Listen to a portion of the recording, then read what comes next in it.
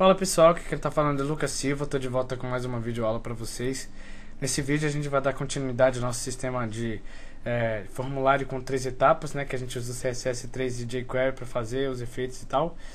É, como pedido, como é, eu tinha eu tinha perguntado se vocês queriam que eu fizesse a segunda parte, em que eu mostro a parte de banco de dados e validação do formulário. Bom, cá estou eu. Nesse vídeo a gente vai falar exatamente sobre isso. É, vou abordar primeiramente a parte da validação, daí se der tempo a gente faz o, o banco de dados, tá?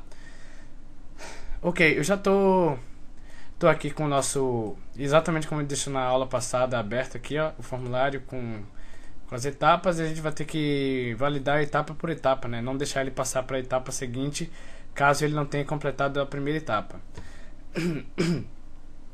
Para isso a gente vai usar uma função do jQuery, já vou até mostrar logo aqui para vocês, chamada Serialize Array. Ela é perfeita para a gente, aqui embaixo ela faz o seguinte. Você determina um, valores de um formulário, você pode determinar valores específicos, como por exemplo inputs, por exemplo, somente inputs, somente text areas, somente é, selects, mas é, o melhor de trabalhar com ele é que você pode colocar o formulário todo. E olha só, ele é perfeito pra gente porque nesse caso a gente vai ter aqui buttons, que eu vou mudar, né? Que na aula passada eu usei submit em todas as partes aqui, o que não é muito inteligente, né? Já que o submit só vai ser necessário no final do formulário. e a gente vai mudar, né? Então, olha só, aqui ele diz assim, ó. The serialize method uses The standard W3C rules for successful controls. Ele usa o método do W3C para regras de, é, de controle de sucesso. É, to determine which which elements it should include, para determinar quais elementos ele deve incluir no serialize. Ele cria um, ele cria esse formato aqui, ó, que é o formato JSON de, de arrays. Aí aqui ele diz assim, ó, in particular, the element cannot be disabled and must contain a name attribute. Ele diz que, em particular, o, o, o campo né, que você quer serializar, por exemplo, que ele vai pegar o nome do campo com o valor, né? Ele não pode estar tá desabilitado, né? Que tem aquele esquema de você clica, por exemplo, no botão, ele dá disable, então você ele não fica mais clicável na página. Ele tem que estar habilitado para poder o serialize array fazer o, o array, tá? E aqui diz assim, ó, no submit button value is serialized since the form was not submitted using the button. Então, como a gente vai estar usando tanto botão como submit, ele não vai serializar esses dois pra gente, então ele vai pegar somente mesmo os dados que a gente põe aqui, ó, e-mail, senha, confirme a senha, Facebook, Twitter, Google+, e primeiro nome, sobrenome e o telefone. Então, esses aqui de baixo ele não serializa, ó. Então vamos lá, vamos, vamos fazer aqui. Abram, eu já estou com a pasta aberta aqui. Vou abrir o nosso functions. Opa, peraí. Abrir com o nosso. É, abri. Ok, abri aqui. Deixa eu ver se estou na pasta certa. Tô. É, abri também aqui o. Aqui foi tá exatamente como ele deixou na aula passada, né? Abri também o index. Aí, bom, vamos começar. Primeiro que eu vou fazer é, vou determinar um, um name aqui para esse nosso, nosso formulário. Vou botar method post type multipart form date e um name de formulário, só para a gente identificar mesmo. É, daí é o seguinte, onde tem submit nas, nas duas primeiras partes, eu vou mudar para button. Então, button e aqui vai ser button, aqui também vai ser button. E aqui o anterior vai ser button, já o enviar vai ser submit, tá? Ok. Então se eu vim aqui, ele ainda vai estar tá funcionando, porque só fiz mudar o, o, tipo de botão, ó. Então próximo está funcionando, próximo está funcionando. Se eu vir no HTML, ó, ainda tá, tá lá, ó, button, tá vendo? Então fica bem melhor. E só não enviar que ele vai tentar dar submit no formulário. Ok. Outra coisa. Eu disse que a gente vai ter que validar é, etapa por etapa, né? Primeira etapa, segunda etapa, terceira etapa. E para isso a gente vai ter que usar identificadores que, que me digam em qual, qual etapa eu estou. como é que eu vou fazer? Como é que eu sei em que etapa eu estou? Eu sei que o usuário vai passar para uma outra etapa quando ele clica no botão de próximo, certo? Então aqui eu vou tentar, eu vou identificar assim, ó, no index, em vez de next para todos, vai ser next 1, ou seja, next da etapa 1, next da etapa 2 e o 3 já não vou precisar identificar porque o prev também não, porque uma vez que ele valida a etapa 1, eu deixo, eu permito que o usuário passe para a etapa 2. Uma vez que ele terminou de, de, é, de validar a etapa 2, eu permito que ele passe para a etapa 3. E uma vez que ele esteja na etapa 3, eu, eu faço a validação e a partir daí ele pode voltar normalmente porque os campos vão estar preenchidos. E uma vez que ele tenta apagar e passar para a próxima etapa, ele não vai conseguir de novo. E gente vai ver como fazer isso usando aquele esqueminha lá do Serialize Array, tá? Outra coisa de, antes da gente começar com JavaScript é o seguinte, ó. É, a gente vai ter que mostrar, né, as mensagens de erro. Então, eu vou, vou criar, ó, tem aqui o form, né? Deixa eu ver, então tem o form e tal. É, acima do form, depois do body, eu vou criar uma div class que eu vou chamar de erros barra div e vou, e vou criar uma div chamada de é, ok, tá? Só pra gente identificar quando, quando a requisição foi com, completa. O erros eu vou digitar uma mensagem aqui simples, parágrafo, preencha todos os campos corretamente. E no ok vou copiar esse parágrafo e vou colocar é, sua requisição foi enviada. Acho que ele não vai pegar o, a formatação aqui que eu tô, não tô em UTF-8 sem boom. Vou colocar a requisição. Se vocês quiserem mudar a formatação da página, é só abrir no Notepad++ e tem lá formatar, vocês colocam em UTF-8 sem boom. Se eu vim aqui agora, ele vai ter aquelas duas mensagens ali em cima. Vamos formatar elas, eu vou abrir nosso CSS Vou criar as duas classes aqui, pode ser depois do HTML mesmo, então ponto erros. Vamos fazer assim, eu vou abrir meu meu não, vou abrir o Paint, né? Paint. A gente usa RGBA, eu ia abrir o Dream o Fireworks pra gente pegar o hexadecimal, mas já que o o Paint é mais leve, né? A gente pega com RGBA mesmo. Então vou fazer assim, ó. Background, não, vou fazer assim, ó. É, widgets. Como a minha div ela tem 500, né, o nosso formulário, é, 500 é, e, e a, o nosso, o, os nossos field sets tem 80% desse tamanho, então 500 vezes 80 dividido para 100, então a gente é 400, né? 400 pixels de largura. Então vai ter 400 pixels de largura. Vamos colocar 390 e a gente joga pad em 5, então ele totaliza 10 nos lados e vai para 90 de novo. É 409, então 5 pixels. Background, aí agora a gente já vai usar RGBA. Eu vou pegar um verde aqui legal, ó. É, no caso erros, né? Então erros eu vou pegar um amarelo. Então vou jogar aqui, ó. Mais ou menos aqui. Vou subir isso aqui, vamos ver um amarelo meio claro. Aqui tá bom. 238, 249, 113. Opa, cliquei aqui, peraí. Eu cliquei, aí, ok. Deixa eu voltar aqui, onde é que eu tava? Aqui, RGBA. É 240 e... Já esqueci, calma aí. 248, né? Não, 238, é. Aqui, 238, 249, 113. Vou colocar em 90%. Vamos ver como é que ele fica. Tá lá. Aí eu vou jogar ele com margin zero alto. Vamos ver como é que ele fica. Zero ele ficou lá em cima. Poderia, né? Mas vamos colocar ele mais próximo do formulário. É... Margin. Então eu tenho... É... Cima... É, cima... É, vamos colocar 10 pixels. Aí esquerda alto. Baixo zero. Direita alto. Vamos ver como é que ele pega. Ele tá pegando, ele puxa tudo, né? Quando eu empurro a, a div aqui, ele empurra todo o resto que tá embaixo dele. O baixo seria aqui, porque aqui eu tenho, quer ver? Cadê? Que eu fiz um merge no. Acho que foi no. Opa. Eu fiz um merge foi no. No LI, eu acho. Deixa eu ver. Tá aqui, tá em algum lugar aqui. Ou foi no L. Que, é essa, que é no nosso progress, né? Acho que. Calma aí. Progress. Step ali. Margem. Cadê o margem? Vou pesquisar por margem aqui, eu tenho em algum lugar aqui.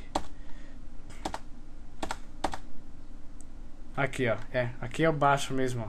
Cima, esquerda, baixo, direita. É, então ele empurra tudo mesmo. Então vou fazer assim, ó. É, vamos deixar como zero mesmo.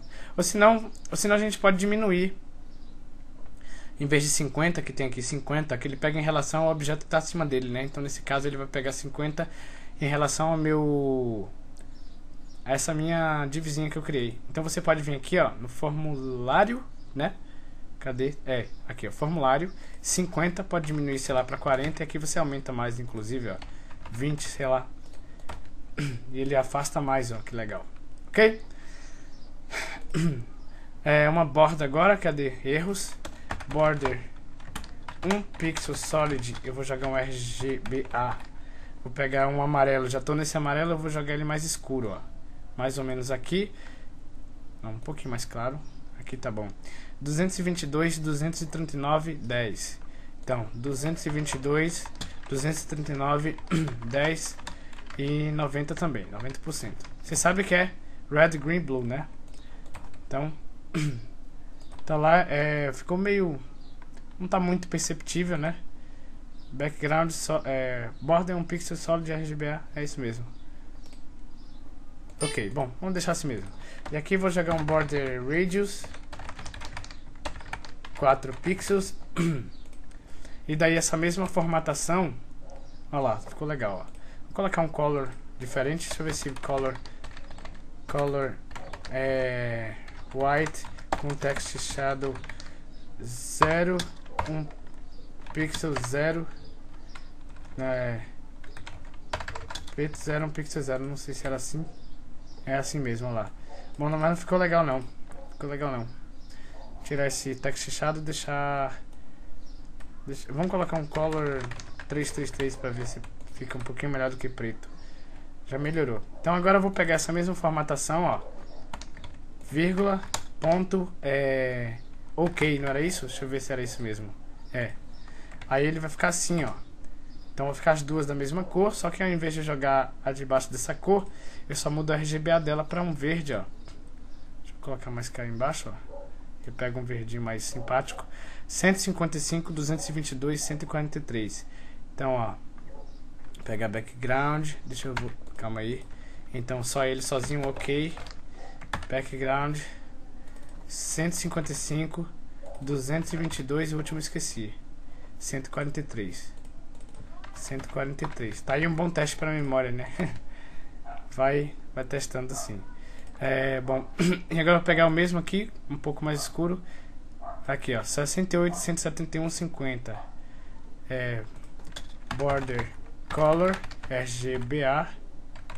RGBA é 68, 171, 50, né? 68, 171, 50, 0.9. Ponto 9. Vocês podem colocar logo 100%, 1, né? Que é 1 seria o o 100% corresponderia ao 1, mas assim tá bom. E nesse caso eu posso colocar uma cor branca, né?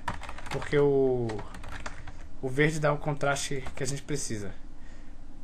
Então tá lá, ok. Aí a gente vai usar essas duas, essas duas divs para falar se o cara pode ir para a próxima etapa ou se ele tem que preencher tudo certinho, né? Vamos lá então.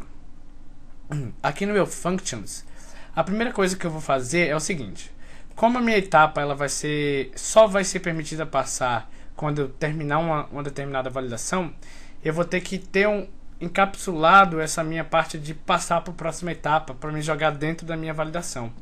Eu vou fazer isso com aqui, ó. Eu tenho o meu click, né? Ponto click é, é ponto next ponto click function e ele faz toda a validaçãozinha de passar para o próximo. Eu vou encapsular isso aqui dentro de uma função. Deixa eu tirar essa aqui de baixo, ó. Tira aqui. Eu, encap eu vou encapsular aqui, ó. Function. Vou chamar de next. Vai receber o elemento. E aí, ó. A partir do elemento, que nesse caso seria o botão, eu vou passar, ó. lm. Em vez de this, vai ser o lm. E ele pega o parent, parent.next e faz a mesma coisa, tá? Só para encapsular mesmo. Aí, ok. isso aqui, como a gente só tem um submit no final do formulário, eu vou usar só no final do código. Vou apagar por enquanto, tá? Vou fazer um pouquinho diferente. E agora a gente vai começar. Vou fazer o seguinte. Então eu tenho o next, next 1, né, né? Ponto next 1, que é o... Eu joguei no name. Calma aí. Joguei no name, pessoal. Não era no name, era na classe, ó. Next 1. Next... Não, pode ser também, né? Deixa eu mudar aqui, calma aí. Pode ser também, tá? Ok. é, ok. Então vou fazer assim, ó é, é. Input. Name igual next 1 ponto click function. Abre parênteses abre chaves. Então o, quando eu clicar para ele passar para o próximo ele vai fazer alguma coisa. E para a gente ver se está testando eu vou fazer assim ó. Vou comentar. Vou, não vou deixar vou só comentar o de baixo. Vamos usar primeiramente esse de cima aqui. Eu vou mudar o HTML daqui se se ele conseguir.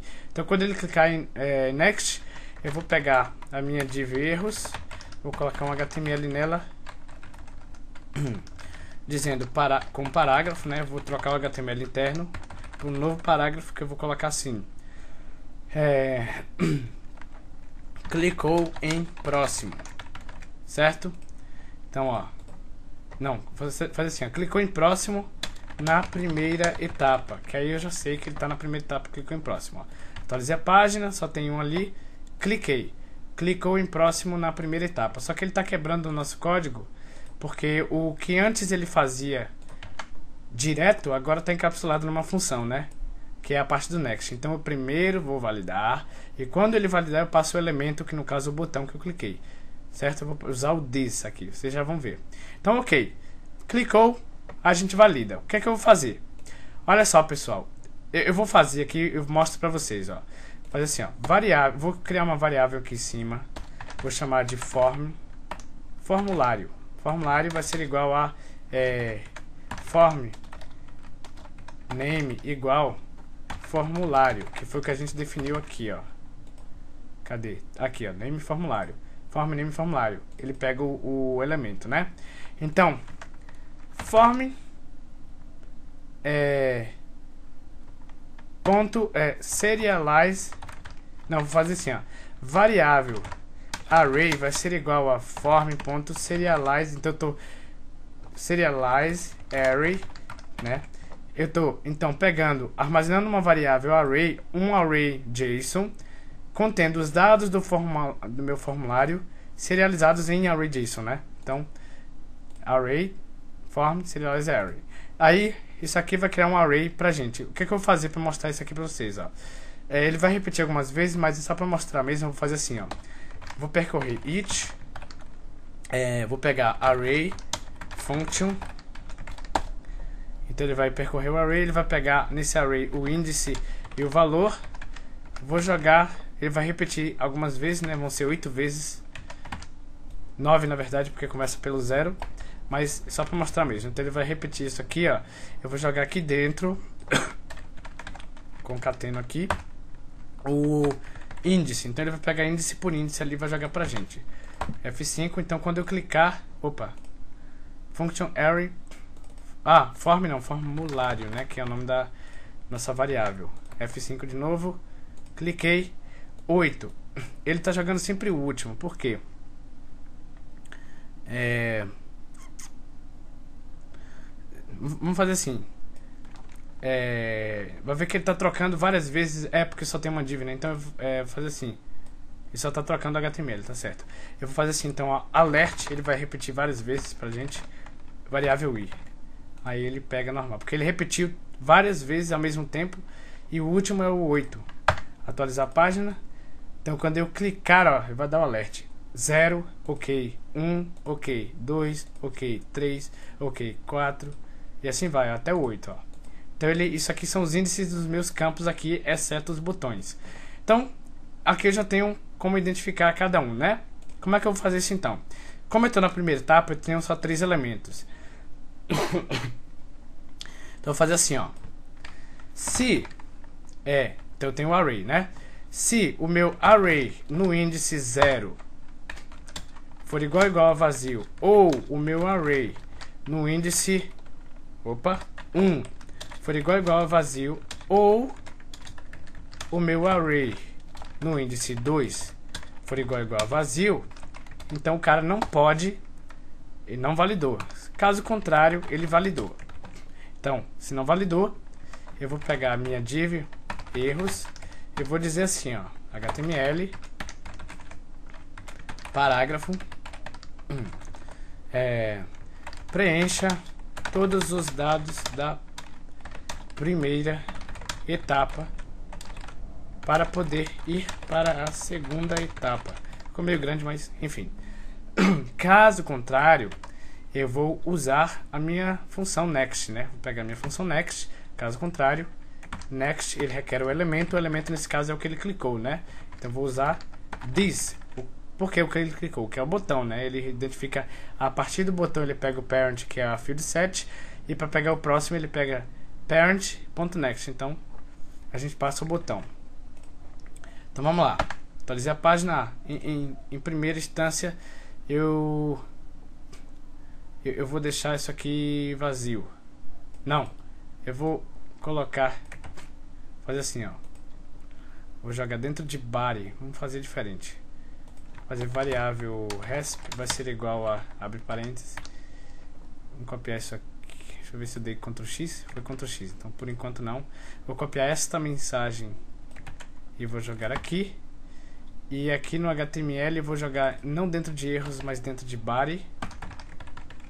Vou jogar um HTML. Não, aí ele vai trocar tudo que está no body, né? Então ter que ser dentro de erros mesmo. É, tem que ser tudo. Vai ser dentro de erros mesmo. Vamos ver se se eu tirar o, o se eu tirar o isso aqui,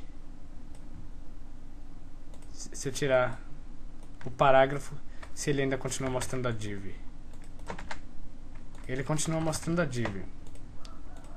É, então vamos fazer assim, ó. div class resp, tá? Daí sim div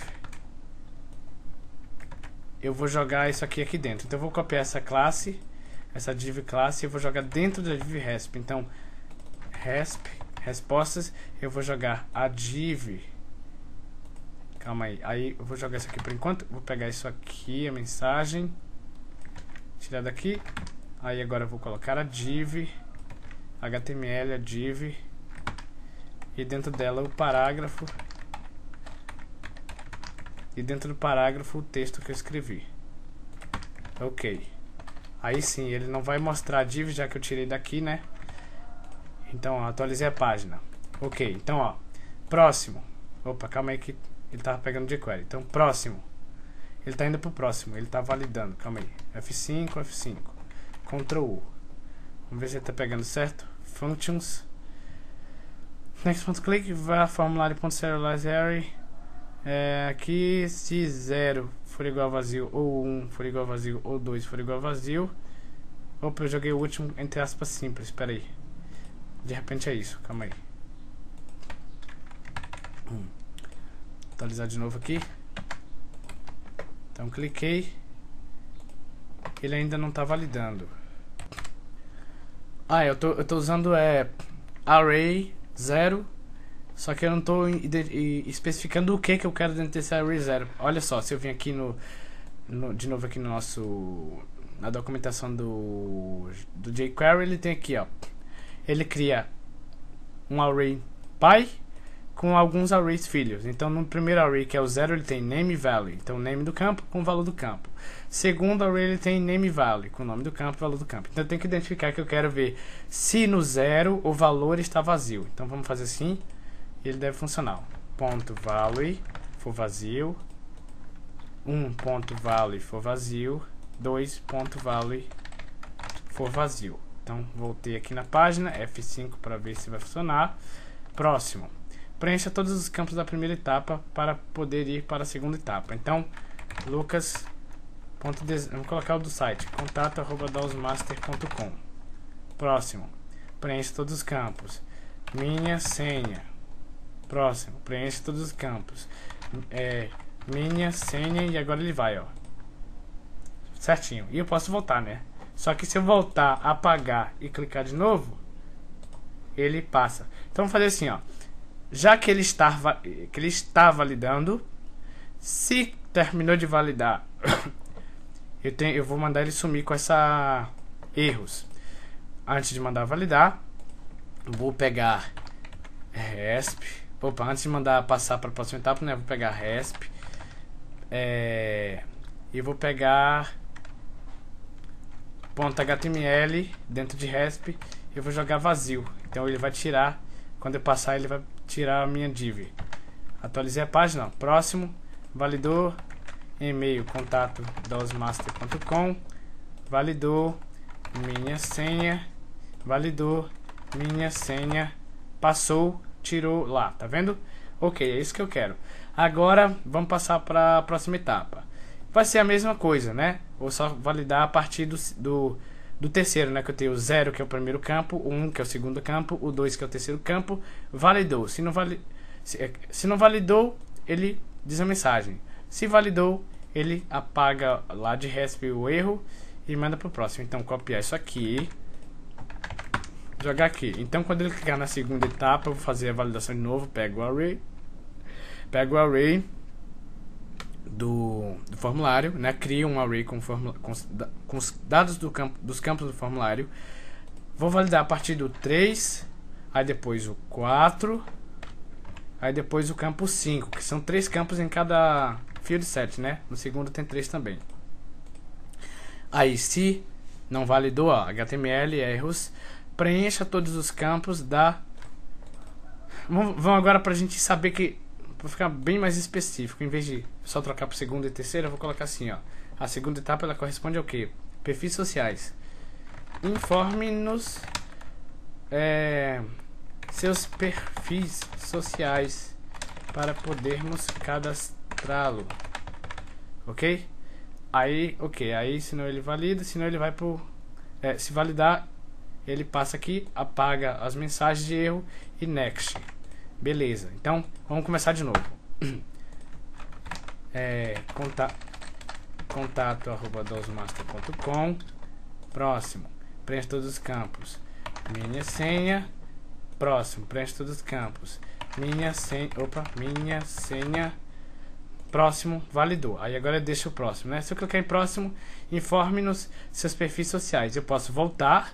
Se eu voltar e apagar, ele pede para mim preencher os dados da primeira minha senha. Próximo. Ok, agora vamos lá. http fb.com barra, é, sei lá, meu é, nome. Próximo. Informe de seus perfis sociais. Twitter, http barra é, twitter.com barra de Lucas Silva. Próximo. Inclusive, quem quiser me seguir lá, informe-nos seus perfis sociais para podermos cadastrá-lo. Aí, Google Mais. Ninguém usa Google Mais. Google Mais. Google.com.br barra, nem sei como é que é, vou colocar, sei lá, lucas.silva. Aí ele passa, ó, próximo. Aí ele passou, apagou lá. E agora, mesmo esquema para a última etapa. Só que na última etapa vai ser um pouquinho diferente que a gente vai fazer. Fazer assim, ó. Input. É, type submit. Ponto click function, vou pegar o evento, abre chaves, entrei aqui. Aí eu vou mandar esse evento ponto, evento ponto prevent default. Por quê? Porque eu tirei aquela parte do false, né? E como eu tenho só agora um, um campo enviar, posso fazer assim. Pego o evento, o evento padrão dele é de atualizar a página, já que o método do meu formulário é post.